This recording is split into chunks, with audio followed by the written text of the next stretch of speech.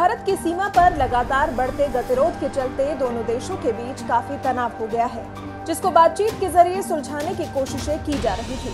प्रधानमंत्री नरेंद्र मोदी रक्षा मंत्री राजनाथ सिंह अलग अलग तीनों सेनाओं के प्रमुखों के साथ और सीडीएस जनरल बिपिन रावत के साथ इस मुद्दे को लेकर मंथन कर चुके हैं। लेकिन अब लगता है चीन बातचीत नहीं, बल्कि युद्ध चाहता है। तभी तो चीन के राष्ट्रपति शी जिनपिंग ने अपनी सेना को युद्ध के लिए तैयार होने के निर्देश दे दिए हैं। ये निर्देश सिर्फ़ भारत से तनाव के लिए नहीं, बल्कि अमेरिका और ऑस्ट्रेलिया से भी तनाव के लिए हो सकते हैं।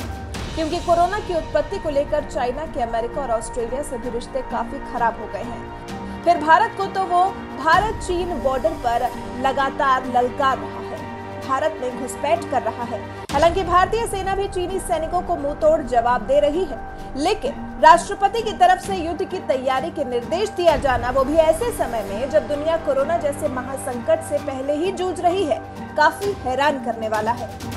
मंगलवार को सेंट्रल मिलिट्री कमीशन की बैठक में जिनपिंग ने कहा, पीपल्स लिबरेशन आर्मी के सैनिकों के प्रशिक्षण को व्यापक रूप से बढ़ाया जाए और सेना को युद्ध के लिए तैयार किया जाए। शी ने आदेश दिया है कि सबसे खराब स्थिति की कल्पना करें, उसके बारे में सोचें और युद्ध के लिए अपनी तैयारियों और प्रशिक्षण को बढ़ाएँ।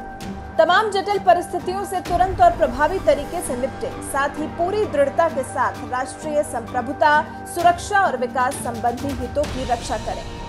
इसके अलावा जिनपिंग ने कहा कि कोरोना के खिलाफ लड़ने में चीन के प्रदर्शन ने सैन्य सुधारों की आवश्यकता को दिखाया है। देश के सशस्त्र बलों को महामारी के बावजूद प्रशिक्षण के नए तरीकों का पता लगाना चाहिए। इस दौरान जिनपिंग ने ताइवान और हांगकांग को लेकर भी बात की। उन्होंने ताइवान के नेताओं के साथ बातचीत और डिप्लोमेसी को बढ़ाने पर भी बात की। कहा कि ज़रूरत पड़ने पर ताइवान के खिलाफ बल प्रयोग किया जाएगा।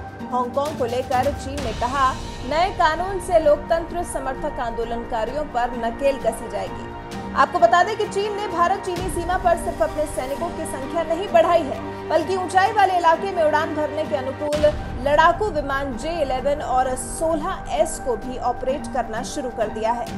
तो इस बात से आपको अंदाज़ा लग ही गया होगा कि चीन ने अपनी ताकत को इन दिनों में कितना बढ़ा लिया है।